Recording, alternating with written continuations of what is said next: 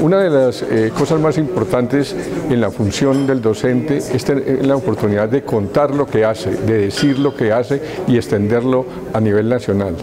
El premio Compartir le da esa oportunidad, le da la posibilidad de que lo que hace en su aula, de lo que hace en su institución, de lo que hace en su municipio se conozca en todo el país. Por eso invito a todos los profesores y obviamente a los rectores para que participen en este premio porque será una oportunidad muy importante para Colombia.